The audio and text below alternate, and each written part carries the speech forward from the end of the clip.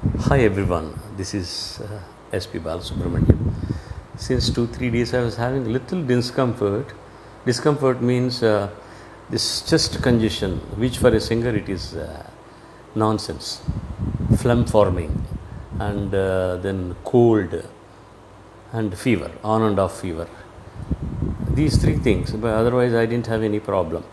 But I didn't want to take it uh, easy, so I went to the hospital and checked and they said it's just a mild mild mild very mild uh, positive of uh, corona. You can stay home and self quarantine yourself and uh, take these medications you will be all right.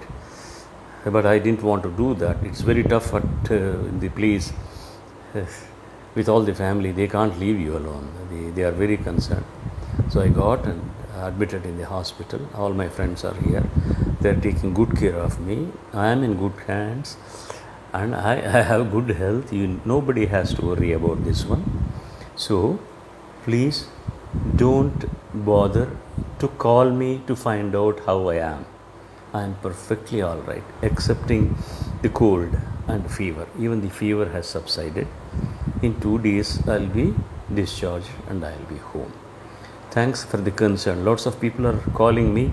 I could not attend so many calls. I have come here mostly to re- take rest so that there won't be any disturbance to me and take the medication. Okay? Thank you so much for your concern. And uh, please don't bother calling me. I am fine. I'll be fine. Thank you